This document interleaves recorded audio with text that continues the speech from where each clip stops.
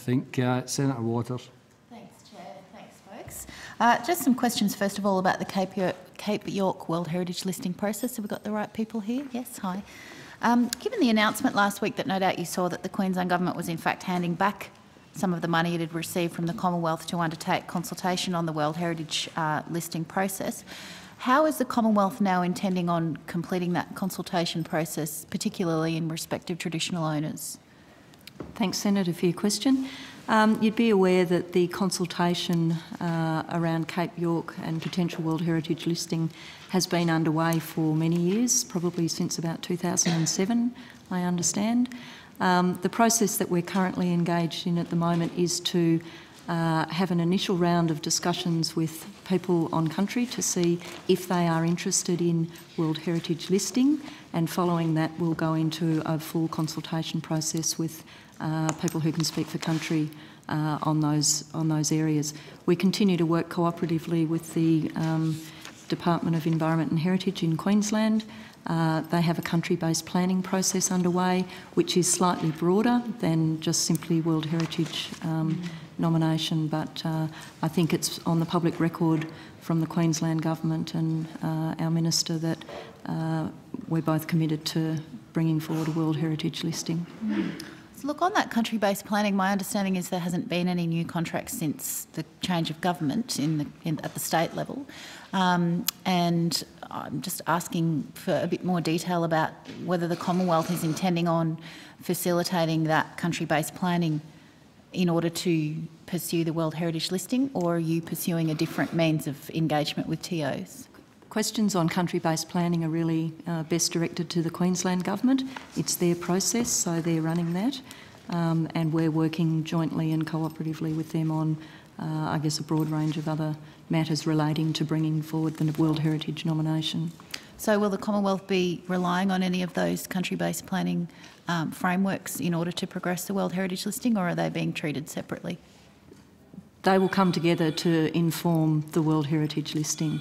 Uh, the Australian government is the state party that uh, puts together the nomination, mm. so we will be seeking input from a number of uh, processes. Um, okay, look, I've got some further detail, but given the, the timing, I might um, put those aspects on notice because it's perhaps a little more complicated than I'm able to um, get through at this point in time. Uh, is the department doing any modelling uh, of alternative economies on the Cape so that traditional owners have um, a bit more information about the choices that they can make between a mining future or a World Heritage future? We're holding a, an, an Indigenous um, workshop next week, uh, and that may well be and will be a, an issue that will be covered at that workshop as well. Is the department doing modelling as such, or will you just have a little workshop about it? Is there is there further work that will um, underpin that workshop? The, the inputs will start to look at what are the benefits of uh, World Heritage listing uh, and through both country-based planning and some of the consultation, uh, that information will be collected and compiled through that process, yes. And will that be disseminated? The information that is collected will be provided into the nomination um, document. Um, some of the material that we provide will be uh, compiled into reports and, and uploaded onto the web, yes. But it won't form part of the actual consultation process with traditional owners?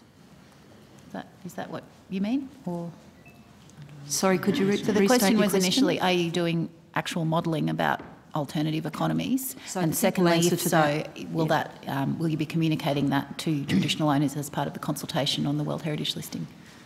We've not yet planned to do any modelling, but that may well be one of the issues that comes through our consultation. Okay. Thank you. And how's the nomination progressing? Will we meet the February deadline?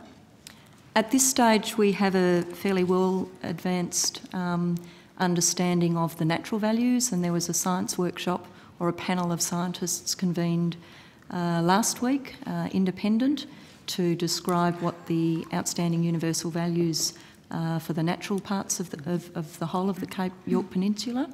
Uh, next week, as I said, we are holding an Indigenous workshop to start to collate and describe some of the cultural story, mm-hmm. uh, and then that will be um, I guess, incorporated into the further work that is going on with the uh, country-based planning and our consultation with traditional owner groups.